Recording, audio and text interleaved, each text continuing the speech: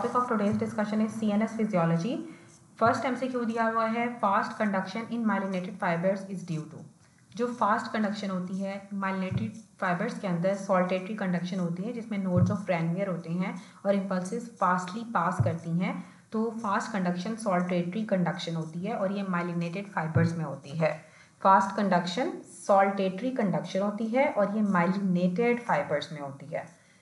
अब ई जी आपने कराई है एक पर्सन की जिसका रिलैक्स माइंड है और आइज़ हैं, लेकिन आइज़ क्लोज हैं। और ई जी के ऊपर जो वेव फॉर्म आएगी वो अल्फ़ा वेव्स आती हैं। जब इंसान का माइंड जो होता है बिल्कुल रिलैक्स होता है, वो सिर्फ़ आँखें बंद करके लेटा होगा, लेकिन वो जाग रहा होगा। अवेक होगा, लेकिन आइज़ क्लोज होंगी तो अल्फ़ा वेव्स आती हैं। अब ड्यूरिंग स्लीप या ई जी के ऊपर क्या क्या पैटर्न आते हैं? सबसे पहले जब पेशेंट अवेक हो और उसकी आइज़ ओपन हो तो बीटा वेव्स आएँगी और अगर पेशेंट जो है वो जाग रहा हो, लेकिन उसकी आँखें सिर्फ़ बंद हो आइज़ क्लोज हो तो अल्फ़ा वेव्स आती हैं। और जो हमारी रैम स्लीप होती है, जो रैपिड आई मूवमेंट स्लीप होती है, उसके अंदर भी बीटा वेव्स आती हैं और जब पेशेंट बिल्कुल अलर्ट होता है और अवेक होता है तो उसमें बीटा वेव्स आती हैं। अलर्ट में भी बीटा वेव्स आती हैं अवेक में भी बीटा वेव्स आती हैं, जब उसकी आइज़ ओपन है अलर्ट है बीटा वेव्स प्रेजेंट होंगी। रैम स्लीप में बीटा वेव्स होती हैं अवेक में बीटा वेव्स होती हैं, जिसमें आइज़ भी ओपन है। अगर अवेक है लेकिन आइज़ क्लोज हैं, अगर आँखें उसने बंद कर ली हैं तो फिर अल्फ़ा वेव्स होंगी। अब जो नॉन रैम स्लीप होती है ना, इसकी दो स्टेजेस होती हैं। एक स्टेज वन होती है और एक स्टेज टू होती है। नॉन रैम स्लीप की जो स्टेज वन होती है, जो कि लाइट स्लीप होती है, अभी हल्की हल्की नींद आना स्टार्ट होती है तो उसमें थीटा वेव्स आती हैं और जो नॉन रैम स्लीप की जो स्टेज टू होती है, जो कि डीप स्लीप होती है, उसमें डेल्टा वेव्स आती हैं। डी से डीप और डी से डेल्टा। तो डेल्टा वेव्स हमें डीप स्लीप में मिलती हैं, लाइट स्लीप में हमें थीटा वेव्स मिलती हैं, जो कि स्टेज वन होती है नॉन रैम स्लीप की। रैम स्लीप में हमें बीटा वेव्स मिलती हैं अवेक होगा, अलर्ट होगा तो भी बीटा वेव्स मिलेंगी। और अगर एक पेशेंट अवेक है, उसकी आइज़ क्लोज हैं तो अल्फ़ा वेव्स मिलती हैं। और अगर एक पेशेंट अवेक है, उसकी आइज़ ओपन है तो हमें बीटा वेव्स मिलती हैं। अब जो नॉन रेम स्लीप होती है ना, उसमें डेल्टा वेव्स की सिंक्रोनाइजेशन होती है। और जब हम एक्टिव मेंटेशन या जब हम सोच रहे होते हैं थिंक कर रहे होते हैं तो हमें लो एम्पलीट्यूड बीटा वेव्स मिलती हैं। और जिन पेशेंट को एनेस्थीजिया दिया हुआ होता है, उसमें जो ईसीजी e होती है, उसकी फ्रिक्वेंसी लो हो जाती है। और सॉरी ईईजी की फ्रिक्वेंसी लो हो जाती है एनेस्थीजिया वाले पेशेंट्स में। एनेस्थीजिया वाले पेशेंट्स के अंदर ईईजी की फ्रिक्वेंसी लो हो जाती है। जब आप एक्टिवली कोई ब्रेन में काम कर रहे हो एक्टिव मेडिटेशन कर रहे हो एक्टिव थिंकिंग कर रहे हो तो लो वोल्टेज या लो एम्पलीट्यूड हमें बीटा वेव्स मिलती हैं। नॉन रेम स्लीप के अंदर डेल्टा वेव्स की सिंक्रोनाइजेशन होती है। अगर एक पेशेंट जाग रहा है और उसकी आँखें बंद हैं तो अल्फ़ा वेव्स मिलेंगी। और अगर फुली अलर्ट है आइज़ ओपन है, और जो है वो पेशेंट कोई एक्टिव मेडिटेशन कर रहा है या रैम स्लीप में हमें बीटा वेव्स मिलती हैं। इस क्यों दिया हुआ है कि फ्रंटल लोब इन्वॉल्व होता है इंटेलिजेंस में। इंटेलिजेंस हमारी फ्रंटल लोब के साथ रिलेटेड होती है। इंटेलिजेंस में फ्रंटल लोब इन्वॉल्व होता है। और जो एड्रीनल मेडुला होता है, उसके जो pre ganglionic sympathetic nervous fibres होते हैं, वो एड्रीनल मेडुला को सप्लाई करते हैं। Pre ganglionic sympathetic neurons pre ganglionic sympathetic neurons adrenal medulla को सप्लाई करते हैं, क्योंकि जो प्री गैंग्लियोनिक सिम्पथैटिक न्यूरॉन्स होते हैं, वो एड्रीनल मेडुला पे करके एपिनेफ्रिन और एपिनेफ्रिन की रिलीज़ कराते हैं। तो जो प्री गैंग्लियोनिक सिम्पथैटिक फाइबर्स होते हैं प्री गैंग्लियोनिक सिम्पथैटिक वो एड्रीनल मेडुला को सप्लाई करते हैं। जो एंटीरियर हाइपोथैलेमस है, वो टेम्परेचर को मेंटेन करता है कुटेनियस वेजोडाइलेशन करा के। हमारी स्किन की वेजोडाइलेशन करा के एंटीरियर हाइपोथैलेमस टेम्परेचर को मेंटेन करता है। जो हाइपोथैलेमस होता है ना, इसके बहुत सारे न्यूक्लियस होते हैं। पहले मैं आपको न्यूक्लियस के बारे में बताती हूँ, फिर हाइपोथैलेमस के फ़ंक्शन बताती हूँ। हाइपोथैलेमस के न्यूक्लियर के अंदर सुप्रा ऑप्टिक न्यूक्लियस आता है, जो सुप्रा ऑप्टिक न्यूक्लियस होता है एस ओ एन ठीक है? वो एडीएच को रिलीज़ करता है एडीएच की एंटी डायोरेटिक हार्मोन की सेंथिसिस करता है। और जब आपके सुपर ऑप्टिक न्यूक्लियस का लीजन होता है ना तो एडीएच नहीं बनता है, जिसकी वजह से यूरिन के अंदर वाटर का लॉस बहुत ज़्यादा होता है और डाइल्यूटेड यूरिन प्रोड्यूस होना स्टार्ट हो जाता है। दूसरा होता है पैरावेंटिकुलर न्यूक्लियस जिसको पी एन कहते हैं और ये ऑक्सीटोसिन की सेंथेसिस करता है। सुप्राऑप्टिक न्यूक्लियस जो है वो सेंथेसिस करता है एडीएच हार्मोन की और जो पैरावेंटिकुलर न्यूक्लियस होता है वो ऑक्सीटोसिन की सेंथेसिस करता है। उसके बाद आता है सुप्रा कैजमेटिक न्यूक्लियस ठीक है? सुपरा कैजमैटिक न्यूक्लियस होता है एस सी एन ये सर्केडियन रिदम को मेंटेन करता है, ठीक है? जिसमें सी आ रहा है ना, वो सो सर्केडियन रिदम को कर रहा है और जो पैरा पैरावेंटिकुलर न्यूक्लियस है, वो ऑक्सीडोसिन को करता है और जो सुप्राऑप्टिक न्यूक्लियस होता है, वो एडीएच की सिक्रीशन करता है। अब एक एंटीरियर हाइपोथैलेमस होता है, एक पोस्टीरियर हाइपोथैलेमस होता है, एक हमारे पास वेंट्रोमीटल हाइपोथैलेमस होता है, एक लैटरल हाइपोथैलेमस होता है।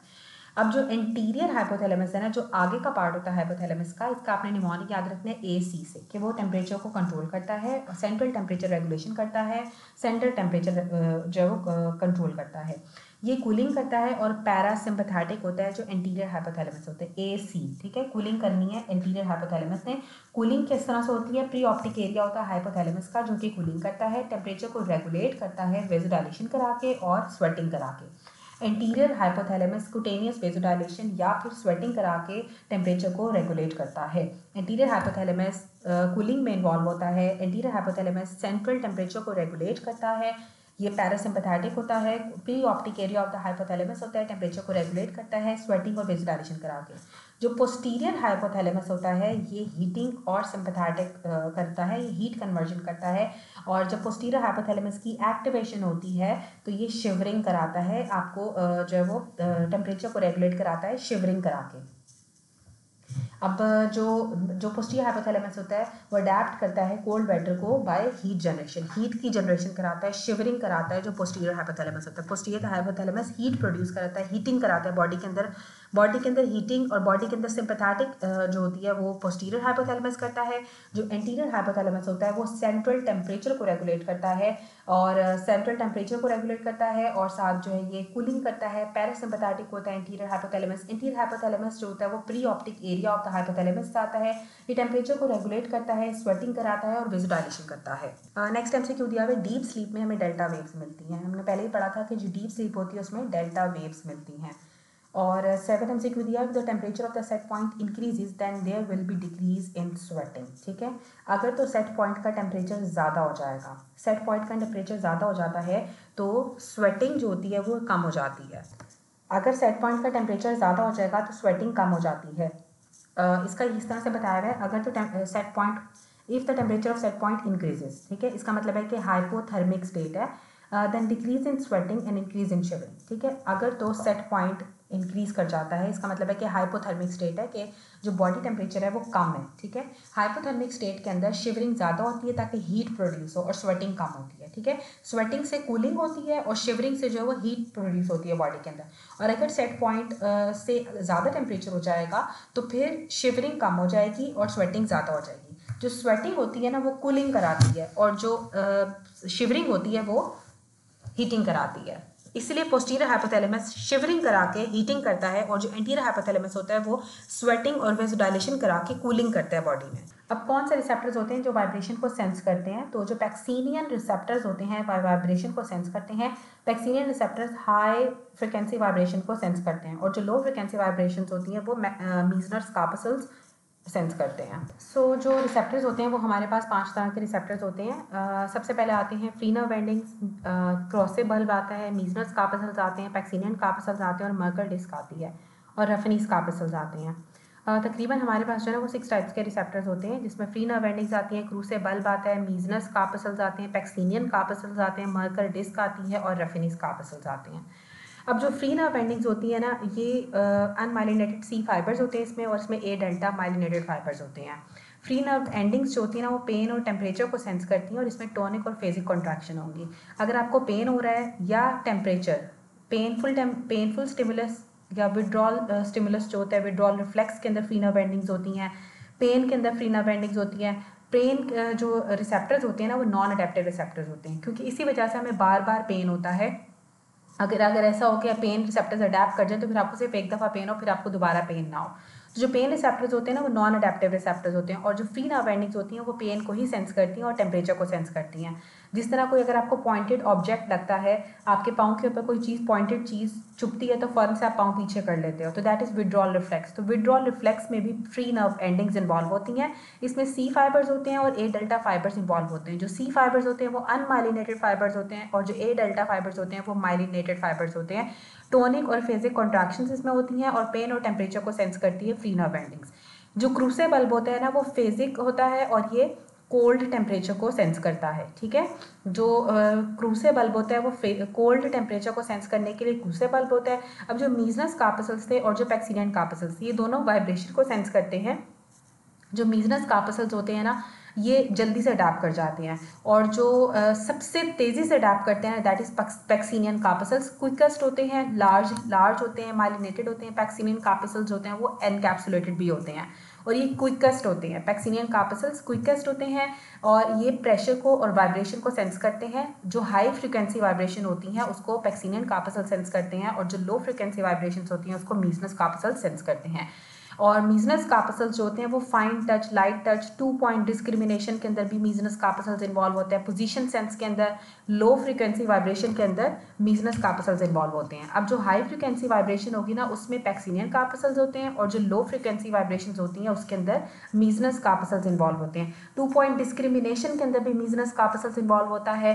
फाइन और लाइट टच के अंदर भी मीजनस कापसल्स इन्वॉल्व होते हैं। पैक्सीनियन कापसल्स सबसे ज़्यादा क्विक होते हैं लार्ज माइलिनेटेड होते हैं और एनकैप्सुलेटेड होते हैं। अब जो मर्कल डिस्क होती है ना, ये स्लोली अडेप्ट करती है, इसमें ये प्रेशर को सेंस करती है डीप स्टैटिक टच अगर काफ़ी देर तक डीप स्टैटिक टच होगा, जैसे कि शार्प्स का एजिस का डीप स्टैटिक टच को जो है वो मर्कल डिस्क सेंस करती है पोजीशन सेंस को मर्कल डिस्क करती है, और पोजीशन सेंस मर्कल डिस्क भी करती है, और मीजनस कापसस दोनों पोजीशन सेंस को सेंस करते हैं. फिंगर टिप्स के ऊपर जब आप डीप स्टैटिक टच देते हो तो वो भी मर्कल डिस्क करती है. डीप स्टैटिक टच होगा मर्कल डिस्क करेगी. Two point discrimination is Meissner's corpuscles और अगर फाइन वो अगर आपको सिर्फ़ पिन नीडल्स लगी हैं या आपको जो पॉइंटेड ऑब्जेक्ट लगेगा तो फ्रीना वेल्डिंग्स इन्वॉल्व होती हैं। मीजन जो मर्कर डिस्क होती है, वो अनकैप्सुलेटेड होती है। लास्ट आते हैं रफिनिस कापसल्स जो रफिनिस कापसल्स होते हैं, ये भी प्रेशर को सेंस करते हैं और जो स्लिपेज ऑफ़ ऑब्जेक्ट्स होती है along the surface of skin ठीक है? वो भी रफनीस कापसल से होती है और ये स्लोली अडाप्ट करते हैं। रफनीस कापसल्स हमें जॉइंट एंगल चेंज के बारे में बताते हैं। वार्म टेम्परेचर के लिए रफनीस कापसल्स होते हैं और कोल्ड टेम्परेचर के लिए क्रूसे बल्ब होता है।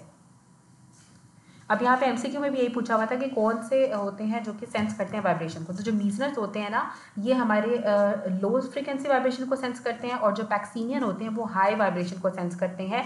पैक्सीनियन रैपिडली अडेप्टिंग फाइबर्स होते हैं रैपिडली अडेप्टिंग रिसेप्टर्स होते हैं। प्रेशर को जो प्रेशर आपके फेस पे अप्लाई करते हो या वाइब्रेशन आपके फेस के ऊपर जो फीलिंग आती है, वो पैक्सीनियन कापसल से आती है।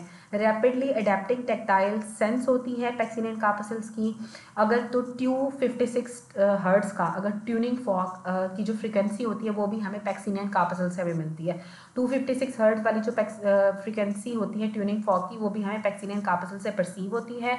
ये रैपिडली अडेप्टिंग प्रेशर रिसेप्टर्स होते हैं। जो पैक्सीनियन कापसल है वो रैपिडली अडेप्टिंग टेक्साइल सेंस भी करते हैं टेक्स्ट सॉरी टेक्टाइल सेंस को रैपिडली अडेप्टिंग टेक्टाइल सेंस होती है इनके अंदर रैपिडली अडेप्टिंग प्रेशर रिसेप्टर्स होते हैं जो पैक्सीनियन कार्पसल्स होते हैं।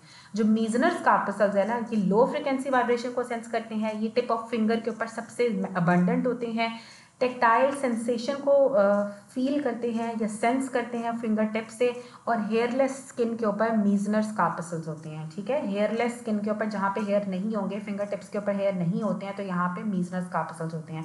टू पॉइंट डिस्क्रिमिनेशन जो होती है ना, वो भी मीजनस काप्सल्स करते हैं। और मीजनस काप्सल्स में जो टू पॉइंट डिस्क्रिमिनेशन होती है ना, वो सबसे ज़्यादा लिप्स के ऊपर हमें पता चलती है और सबसे कम जो होती है ना, वो हमें स्कैपुला के ऊपर पता चलती है। टू पॉइंट डिस्क्रिमिनेशन सबसे कम स्कैपुला पे और सबसे ज़्यादा लिप्स पे पता चलती है और टू पॉइंट डिस्क्रिमिनेशन के अंदर भी मीजनस कापसल्स होते हैं। जो सबसे ज़्यादा रैपिडली अडाप्ट करते हैं वो पैक्सीनियन होते हैं सेकंड पे मीजन और फिर क्रूसेबल होते हैं। क्रूसेबल भी रैपिडली अडाप्ट करते हैं, लेकिन वो कोल्ड टेम्परेचर को सेंस करता है। और जो स्लो अडेप्टिंग होते हैं ना, उसमें आपकी गोल्जी टेंडन आता है मर्कर डिस्क आती है और साथ रफिनिस कापसल्स आते हैं। और वार्म के लिए जो वार्म टेम्परेचर को जो सेंस कर रहे थे वो भी रफिनिस कापसल्स थे अब नेक्स्ट एम सी क्यों दिया हुआ है कि जो हाई फ्रिक्वेंसी थी वो पैक्सीनियन कर रहे थे जो लो फ्रिक्वेंसी है वो मीजनर सेंस करते हैं या डिटेक्ट करते हैं। Uh, यहाँ पे अगला एमसीक्यू दिया हुआ है एमसीक्यू नंबर टेन कि decrease core body temperature stimulate shivering हमने पहले भी पढ़ा था कि जब बॉडी के अंदर डिक्रीज कोर बॉडी टेम्परेचर अगर आपकी कोर बॉडी का टेम्परेचर डिक्रीज हो गया मतलब आप हाइपोथर्मिक स्टेट के अंदर हो कि पेशेंट की जो है वो बॉडी टेम्परेचर कम हो गया, ठीक है? टेम्परेचर कम हो जाएगा तो टेम्परेचर को इंक्रीज करने के लिए शिवरिंग होती है, ठीक है?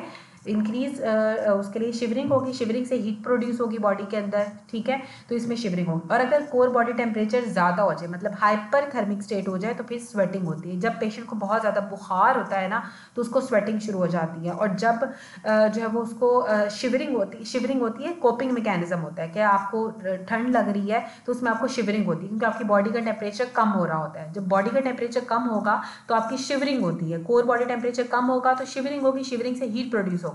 इसी तरह से जब आपकी बॉडी का टेम्परेचर ज़्यादा हो जाता है, बहुत ज़्यादा आपकी कोर बॉडी टेम्परेचर हो रहा होगा, तेज़ बुखार हो जाता है तो पसीना आना शुरू हो जाता है स्वेटिंग स्टार्ट हो जाती है और उससे फिर बॉडी में कूलिंग मैकेनिज्म होता है। अब आगे दिया हुए थीटा वेव्स हमें कब मिलती हैं? ईईजी के ऊपर। थीटा वेव्स हमने पढ़ा था कि जब आपकी नॉन रैम स्लीप की स्टेज वन होती है, उसमें हमें थीटा वेव्स मिलती हैं। नॉन रैम स्लीप की सिर्फ़ स्टेज वन के अंदर हमें थीटा वेव्स मिलती है और किसी चीज़ में हमें थीटा वेव्स नहीं मिलती हैं। जब पेशेंट फुली अवेक होता है अलर्ट होता है और रैम स्लीप में हमें बीटा वेव्स मिल रही थी और अगर पेशेंट जाग रहा है, उसकी आँखें खुली हैं तो भी बीटा वेव्स मिल रही थी। और अगर पेशेंट जाग रहा है, उसकी आँखें बंद हैं तो अल्फ़ा वेव्स मिलती हैं। और नॉन रैम स्लीप की जो स्टेज टू होती है नॉन रैम टू होती है, जो स्टेज टू होती है डीप स्लीप होती है, उसमें हमें डेल्टा वेव्स मिलती हैं। अब जो थीटा वेव्स होती हैं ना, वो एक तो हमने पढ़ा कि stage one of the non REM sleep में होती है, लेकिन अगर पेशेंट बहुत ज़्यादा स्ट्रेस में होगा तो उसमें भी थीटा वेव्स प्रोड्यूस हो जाती हैं। और डेल्टा वेव्स जो होती हैं, वो डीप स्लीप में होती है। इन्फेंसी में डेल्टा वेव्स हमें ईजी के ऊपर नज़र आती हैं, या फिर कोई ऑर्गेनिक ब्रेन डिज़ीज़ होगी तो उसमें भी हमें नज़र आती हैं। और stage one of the non REM sleep के अंदर हमें स्पिंडल्स भी नज़र आएँगे। अब जो पैक्सीनियन कार्पसल्स का फ़ंक्शन क्या होता है कि ये हाई फ्रिक्वेंसी वाइब्रेशन को डिटेक्ट करते हैं। न्यूरॉन्स आपके substantia nigra pars compacta to striatum is dopaminergic neurons ठीक है? जो न्यूरॉन्स आते हैं आपके सब्सटेंशिया नाइग्रा पार्स कॉम्पैक्टा से टू स्ट्राइटियम ठीक है? स्ट्राइटम तक जो सब्सटेंशिया नाइग्रा से न्यूरॉन्स आ रहे होते हैं, वो आपके डोपामिनर्जिक न्यूरॉन्स होते हैं। डोपामिनर्जिक न्यूरॉन्स हमारे सब्सटेंशिया नाइग्रा से आते हैं और वो आपके स्ट्राइटम तक जाते हैं। सब्सटेंशिया नाइग्रा पार्स कॉम्पैक्टा से जो न्यूरॉन्स आ रहे हैं स्ट्राइटम तक वो आपके डोपामिनर्जिक न्यूरॉन्स होते हैं। नेक्स्ट यहाँ पे बताया हुआ है कि अल्फ़ा रिदम कब आता है ईजी ईजी के ऊपर? Increase frequency due to the low partial pressure of carbon dioxide जब कार्बन डाइऑक्साइड के uh, का पार्शियल प्रेशर है वो कम हो जाएगा तो अल्फ़ा वेव्स आती हैं ठीक है? अल्फ़ा रिदम आता है ईसीजी के ऊपर ईजी के ऊपर। अगर पेशेंट हाइपर वेंटिलेट कर रहा हो या उसका partial pressure of carbon dioxide कम हो तो हाइपर वेंटिलेट कर रहा हो या partial pressure of carbon dioxide कम हो तो हमें ई जी के ऊपर अल्फ़ा रिदम नज़र आता है।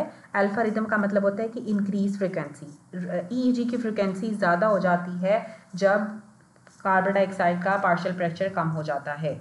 ठीक है कार्बन डाइऑक्साइड का पार्शियल प्रेशर कम हो जाएगा तो ईजी e की फ्रिक्वेंसी ज़्यादा हो जाती है। जब ग्लूकोज ज़्यादा होगा तो भी फ्रिक्वेंसी ज़्यादा हो जाती है ईजी e के ऊपर। जब टेम्परेचर ज़्यादा होगा तो भी ज़्यादा हो जाती है। जब स्टीरॉइड्स आप बहुत ज़्यादा लेते हो तो भी ज़्यादा हो जाती है। और जब आप बहुत ज़्यादा हाइपर वेंटिलेट करते हो, या जब आपकी कार्बन डाइऑक्साइड कम हो जाएगी तो भी partial pressure of carbon dioxide कम हो जाएगा। पेशेंट हाइपर वेंटिलेट कर रहा होता है तो भी फ्रिक्वेंसी ज़्यादा हो जाती है ईजी के ऊपर। इसी तरह से ईजी की फ्रिक्वेंसी कम हो जाती है जब ग्लूकोज कम होता है। जब टेम्परेचर कम होगा तो फ्रीक्वेंसी कम हो जाएगी, ठीक है? जब स्टीरॉइड्स आप कम लोगे तो फ्रीक्वेंसी कम हो जाएगी। अब जो कार्बन डाइऑक्साइड है ना, इसका इन partial pressure of carbon dioxide का इन्वर्स रिलेशन है, बाकी सब चीज़ों का डायरेक्ट रिलेशन है। कि ई जी के ऊपर फ्रिक्वेंसी ज़्यादा हो जाती है, जब आपको ग्लूकोज आप ज़्यादा लेते हो, आपकी बॉडी का टेम्परेचर ज़्यादा हो जाता है, या फिर आपने स्टीरॉइड्स बहुत ज़्यादा लिए हैं ग्लूकोटिकॉइड्स हाई हैं। लेकिन अगर आपका partial pressure of carbon dioxide low है, या हाइपर वेंटिलेट अगर पेशेंट कर रहा होगा तो ई e के ऊपर फ्रिक्वेंसी ज़्यादा हो जाती है।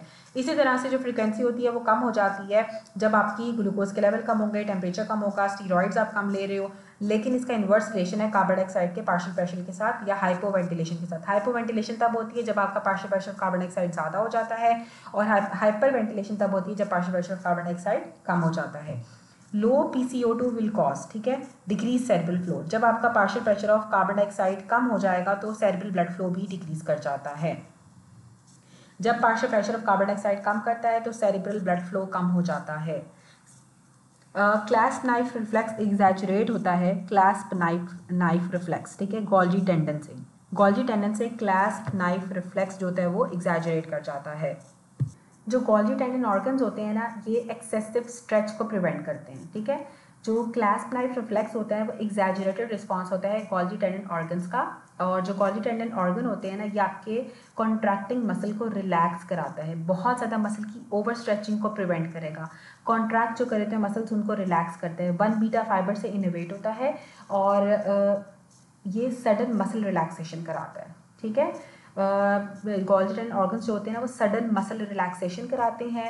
ये क्लास नाइफ रिफ्लेक्स जो होता है, वो एग्जैजरेट हो जा एग्जैजरेटेड रिस्पॉन्स होता है। गोल्जी टेंडन ऑर्गन्स का एग्जैजरेटेड रिस्पॉन्स में आपकी क्लास नाइफ रिफ्लेक्स आता है और ये मसल की टीयरिंग से प्रिवेंट करता है और मसल की ओवर स्ट्रेचिंग से भी प्रिवेंट करता है, ठीक है? मसल टीयरिंग से प्रिवेंट करता है गोल्जी टेंडन ऑर्गन ये मसल्स की जो है ना, वो रिलैक्सेशन कराता है सडन मसल रिलैक्सेशन कराता है मसल टीयरिंग से प्रिवेंट करता है एक्सेसिव स्ट्रेच से प्रिवेंट करता है और रिलैक्स करता है कॉन्ट्रैक्टिंग मसल्स को, जो गोल्जी टेंडन ऑर्गन होता है। एम सी क्यू सेवनटीन में दिया हुआ है only afferent nerve that carries information to the brain is optic nerve ठीक है? ऑप्टिक नर्व सिर्फ़ एक ऐसी नर्व है जो कि एफरेंट नर्व होती है और इन्फॉर्मेशन ब्रेन में लेके जाती है। ओनली एफरेंट नर्व जो होती है वो ऑप्टिक नर्व है ठीक है? ओनली एफरेंट नर्व जो होती है वो ऑप्टिक नर्व है। Nucleus of the REM sleep जो होता है वो लोकस सेरुलस के अंदर होता है। रैम स्लीप का जो न्यूक्लियस है ना रैम स्लीप का न्यूक्लियस वो लोकस सेरुलस में होता है। जो नॉन रैम स्लीप सेंटर होता है वो रेफी न्यूक्लियस होता है। और जो uh, और जो रैम स्लीप होती है उसका जो होता है वो पॉन्स के अंदर लोकस सेरुलस होगा ठीक है? रैम स्लीप का जो सेंटर होता है रैपिड आई मूवमेंट स्लीप का सेंटर पॉन्स के अंदर होता है that is locus coeruleus pons के अंदर लोकस सेरुलस होगा और जो नॉन रैम स्लीप होती है, उसका होता है raphe nucleus non REM sleep का रैफी न्यूक्लियस और जो रैम स्लीप होती है, उसका लोकस सेरुलस में होता है. Which of the following mechanism prevent heat loss कौन सा मैकेनिज्म होता है जो कि हीट लॉस को प्रिवेंट करता है? ठीक है हीट लॉस ना हो. कुटेनियस ये वेजो कंस्ट्रिक्शन ठीक है? वेजो कंस्ट्रिक्शन से हीट लॉस नहीं होती है. ठीक है? प्रिवेंट करता है हीट लॉस को बॉडी से हीट ना जाए। आपकी वेसल्स कॉन्स्ट्रिक्ट कर जाती हैं ताकि जो है वो वेसल्स कॉन्स्ट्रिक्ट कर जाती हैं ताकि हीट लॉस ना हो, ठीक है? जब हीट लॉस आपने करानी होती है तो फिर वेजोडाइलेशन हो जाती है। हमने पढ़ा था ना कुटेनियस वेजोडाइलेशन और स्वेटिंग करके जो एंटीरियर हाइपोथैलेमस होता है वो टेम्परेचर को मेनटेन करता है, क्योंकि बॉडी को वो कूल करता है। और deep sea divers ascent suddenly to the surface which oxygen toxicity will occur will cause death ठीक है? अगर एक डीप सी डाइवर्स है वो अचानक से अगर सरफेस पे आ जाता है डीप सी डाइवर जो असेंड करता है सडनली ठीक है? ये कंप्रेशन सिकनेस होती है, इसमें पेशेंट को सीजर हो जाते हैं which oxygen toxicity will occur and cause death seizure होने की वजह से पेशेंट की डेथ हो जाती है, ठीक है? ऑक्सीजन टॉक्सिसिटी हुई, इसमें क्या हुआ कि उसकी डेथ क्यों हो गई? सीजर्स की वजह से डेथ हो जाती है। बाकी सारी चीज़ें ऐसी हैं जिनकी वजह से डेथ नहीं होगी। डीप सी डाइवर्स जब रैपिडली असेंड करता है तो जो ऑक्सीजन टॉक्सिसिटी होती है, जो डेथ कराती that is seizure man got an accident and had complete transection of T one level he will have ठीक है? अब इसमें क्या है? कंप्लीट ट्रांजेक्शन होगी टी वन के लेवल के ऊपर. जब सहमी सेक्शन होता है तो उसमें हम कहते हैं ब्राउन से कॉर्ड सिंड्रोम है. और जब कंप्लीट ट्रांजेक्शन होगी या टी वन के लेवल के ऊपर तो क्या होगा? Temporary loss of stretch reflex below the lesion stretch reflex का लॉस हो जाता है बिलो द लीजन अब जब कंप्लीट ट्रांजैक्शन होती है ना स्पाइनल कॉर्ड की, अब इसमें क्या कि कंप्लीट ट्रांजैक्शन हो गई थी टी वन के लेवल के ऊपर। तो जो स्ट्रेच रिफ्लेक्स होगा वो टेम्परेरी लॉस हो जाएगा below the level of lesion ठीक है? एक तो ये कि स्ट्रेच रिफ्लेक्स इसलिए टेम्परेरी लॉस होगा कि जो रिफ्लेक्सेस होते हैं ना below the level of lesion जहाँ पे भी लीजन होगा कंप्लीट ट्रांजेक्शन में उससे नीचे जो होते हैं वो सारे लॉस हो जाते हैं, ठीक है? अबव द लीजन सब कुछ नॉर्मल रहता है बिलो द लीजन जो होते हैं रिफ्लेक्सेस लॉस हो जाते हैं। अब जो रिफ्लेक्सेस लॉस होते हैं ना, क्योंकि ये लोकल सर्किट्स होते हैं स्पाइनल कॉर्ड के अंदर तो ये बाद में with the passage of time return कर जाते हैं और सेंसिटिव ज़्यादा हो जाते हैं। तो तो जो ये लॉस होगा ना, ये टेम्परेरी लॉस होगा, ठीक है? टेम्परेरी लॉस होगा और below the level of lesion होगा। टेम्परेरी लॉस होगा टेम्परेरी लॉस होता है और साथ below the level of lesion होता है।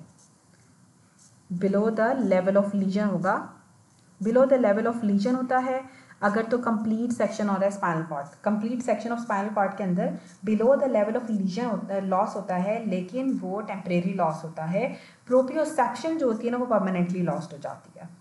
और जो नर्व फाइबर्स होते हैं अबव द लीजन वो इंटरेक्ट करते हैं। क्योंकि जो सेंसिटिव नर्व फाइबर्स होते हैं उनकी इंटरप्शन की वजह से प्रोपियोसेप्शन परमानेंटली लॉस हो जाती है, लेकिन जो below the level of lesion है, वो टेम्परेरी लॉस होगा जब कंप्लीट सेक्शन होती है स्पाइनल कॉर्ड की।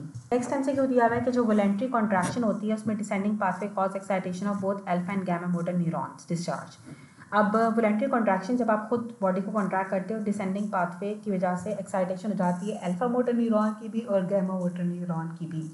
मोटर न्यूरॉन्स की एक्साइटेशन होगी क्योंकि जो डिसेंडिंग ट्रैक होता है ना, वो आपका कॉर्टिकोस्पाइनल ट्रैक होता है, ठीक है? इसमें एक आपका लैटरल कॉर्टिकोस्पाइनल ट्रैक आता है और एक आपका इंटीरियर कॉर्टिकोस्पाइनल ट्रैक आता है डिसेंडिंग ट्रैक्स में। कॉर्टिकोस्पाइनल ट्रैक मतलब कॉर्टेक्स से स्पाइन की तरफ़ आ रहे हैं मतलब ऊपर से नीचे की तरफ़ आ रहे हैं डिसेंडिंग ट्रैक्स हैं, इसमें एक लैटरल होता है और एक इंटीरियर होता है।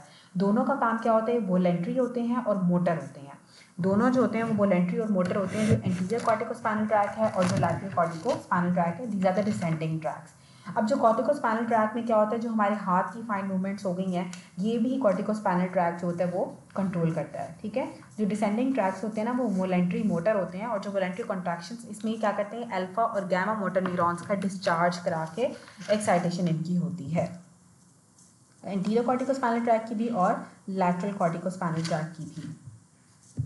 नेक्स्ट एमसीक्यू दिया हुआ है कि जो स्टडी प्रेशर होता है वो रफनीस रिसेप्टर्स डिटेक्ट करते हैं। मैंने पहले भी बताया था कि जो रफनीस कापसल्स होते हैं वो स्लोली अडेप्ट करते हैं वार्म टेम्परेचर को सेंस करते हैं जॉइंट एंगल चेंज को सेंस करते हैं और स्टडी प्रेशर को सेंस uh, करते हैं और ये टोनिक होते हैं। और जो बॉडी के अंदर डिसइक्विलिब्रियम होता है वो मिनेयर्स डिज़ीज़ के अंदर हो जाता है। ऑटोनॉमिक नर्वस सिस्टम का रिस्पॉन्स होता है डिसइक्विलिब्रियम डेवलप हो जाता है मिनेयर्स डिज़ीज़ में। स्लोली अडेप्टिंग रिसेप्टर्स भी रफनिस रिसेप्टर्स होते हैं। तीन तरह के रिसेप्टर्स जो थे, वो स्लोली अडेप्टिंग थे गॉल्जी मर्करडिस और रफनिस तो मर्करडिस और रफनिस दोनों स्लोली अडेप्टिंग होते हैं तो रफनिस कापसल स्लोली अडेप्टिंग होते हैं रफनिस कापसल आपके स्टडी प्रेशर को डिटेक्ट करते हैं।